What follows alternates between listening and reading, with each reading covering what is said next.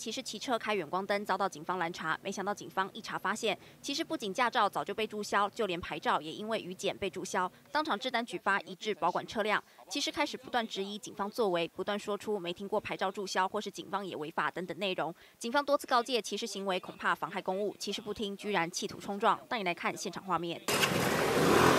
哎，我跟你讲，你不要太过分哦！我拔掉，我刚我刚。有讲，真的没得讲。其实不仅打算骑车冲撞远景，甚至还出手攻击、辱骂远景，造成远景前胸淤伤，当场被逮。带你来听警方说明：当场被依妨害公务现行犯上铐逮捕，待反锁侦办。其实这下除了交通违规，还得面对刑事追诉。